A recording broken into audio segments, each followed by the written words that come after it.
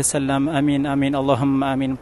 Dan tidak lupa juga saya doakan kepada semua keluarga-keluarga beliau yang masih hidup. Bapak Nahduddin Mbak Tati beserta semua keluarga-keluarga beliau masih hidup lainnya. Semoga tetap dalam keadaan sehat walafiat panjang umur murah rezeki dilindungi daripada segala macam mara bahaya apa pun dimudahkan dalam mendapatkan rezeki yang halal serta barokah.